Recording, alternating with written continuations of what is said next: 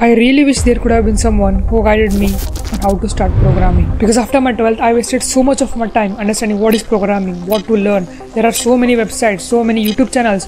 Which one to choose? Which one is the best one? And before coding, I have to choose a language. Like which is the best one? C++, Python, Java. Which one has the more scope? There is web development, app development, Flutter, iOS, blockchain, AIML, data science. So many doubts. But you don't need to worry because I'm here to guide you. And I will share my experience, my mistakes so that you should not repeat them. And if you don't know me, then I'm Akash. I recently completed my third year in computer science and engineering at MS Ramaiah Bangalore. So the roadmap which I came up from my past three years of experience is first learn the programming language, anyone, and in the second phase explore.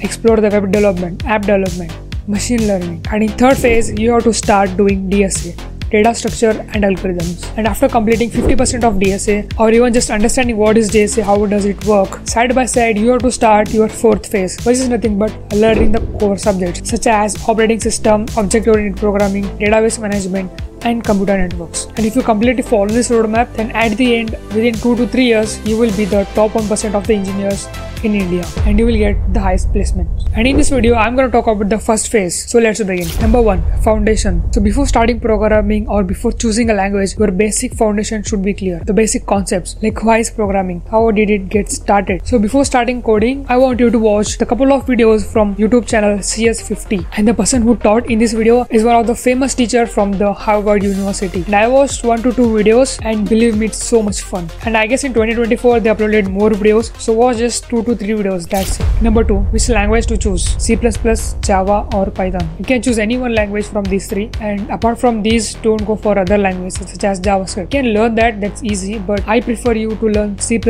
or Java because these languages are a bit difficult compared to the Python. And if you learn C++ or Java, then you can easily switch to Python at any time. It will take just 3 to 4 days. And which one I know? I know all of three. I started with C actually and then after 2 days I got to know C++ is the better version. So then I learned C++ and in my college they taught me Python and Java both languages and even in your college they will teach you all of three. So you don't need to worry. Just start with anyone. And if you still have a confusion like which language to choose then comment down below and i will make a detailed video on which language to choose. Number three best youtube channels. See when i started programming i watched videos from so many different channels and i didn't stick to one particular channel. So that's why i wasted so much of my time. Like which one is the better? Who is teaching the best? And after so much of my time i figured out Code with Harry is the best one for the absolute beginners. Other channels are also good, but they are not actually for the absolute beginners. If you have understanding of a particular language, then you can watch the other channels too. And I would say watch all the videos from his particular playlist like C++ or Java. And if you don't like his teaching, then absolutely we can switch to other channel. But the thing is, you have to understand what they are teaching. Before going ahead, if you find this video helpful, then do consider a subscribe and share with your friends. Number 4.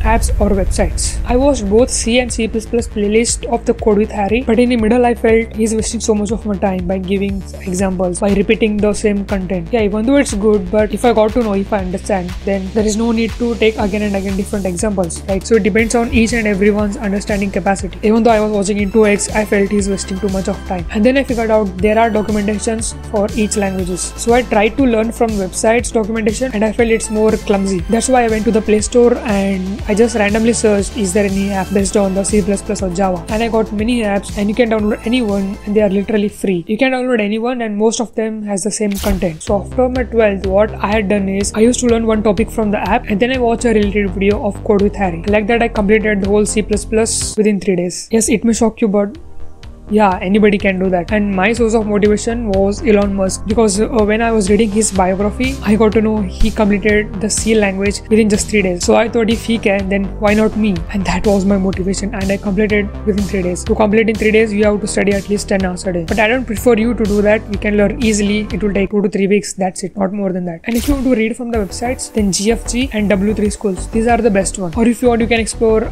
other websites too. So now your task is to first complete one language and then go for the second phase. And I'll be making a detailed video on the second phase. Otherwise this video will become too big. And you are going to new college. So just forget whatever happened in your past in your 11 12 you are starting a new life. If you are introvert then go and talk to everyone. Then make yourself extrovert. Because the first impression is the best impression. So bring back the best version of yourself and do hard work.